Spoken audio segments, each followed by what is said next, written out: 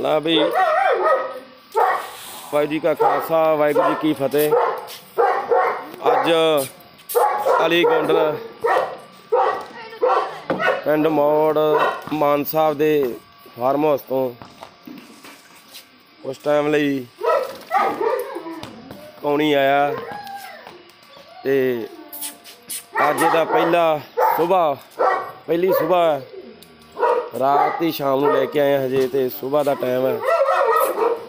ਤੇ ਗੌਂਡਲ ਦੀ ਖਰਖ ਵਰਸ਼ਾ ਕਰੀ ਜਾਂਦੇ ਆ।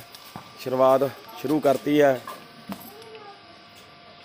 ਤੇ ਥੋੜਾ ਜਿਹਾ ਘਬਰਾਇਆ ਜਾ ਵੀ ਆ ਵੀ ਪਹਿਲਾ ਦਿਨ ਹੈ, ਪਹਿਲਾ ਸਮਾਂ ਸਵੇਰ ਦਾ ਟਾਈਮ ਹੈ, ਰਾਤ ਹੀ ਲੈ ਕੇ ਆਂਦਾ ਹਜੇ।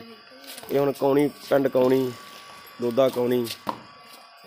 ਆ ਚੁੱਕਿਆ ਧੰਨਵਾਦ ਮਾਨ ਸਾਹਿਬ।